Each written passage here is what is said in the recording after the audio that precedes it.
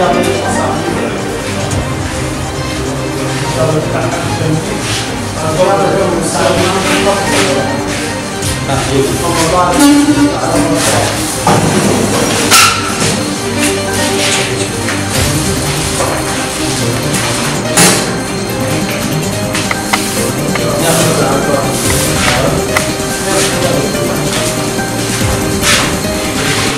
الله الرحمن الرحيم. آه، انطلق الصيفية عملة إعمار وتطوير كلية التربية المختلطة في جامعة الكوفة.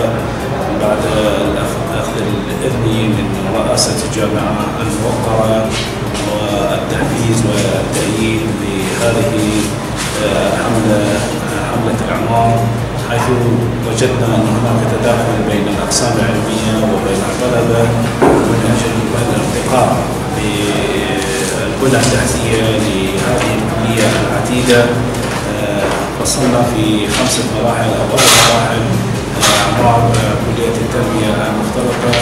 ابتدأت المرحلة الأولى بالأقسام العلمية وابتداء بقسم اللغة الإنجليزية حيث كان هناك تداخل واضح بين أقسام الحسابات والتسجيل والطلبة والقاعات الدراسية والقاعات الدراسية مع القسم العلمي وغرف التدريسيين فارتأينا فصل كل على حدة من أجل الانسيابية الصحيحة لدخول الطلبة. وهناك خطة أيضا تطويرية لقسم علوم القرآن الكريم وانتقالهم إلى المبنى الجديد بعد تهيئة الإمكانيات المادية حيث وضعنا تصميم أساس للكلية.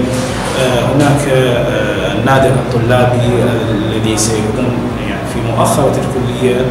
وبتصميم معماري جيد وحسب الإمكانيات المادية المتوفرة.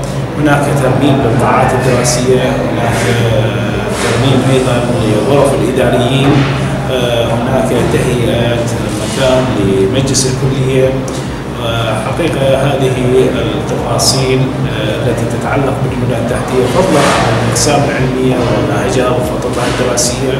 حاولنا جاهدين في استغلال العطلة الصيفية لبناء برنامج متكامل للارتقاء بكلية التربية المفترضة في جامعة الكوفة.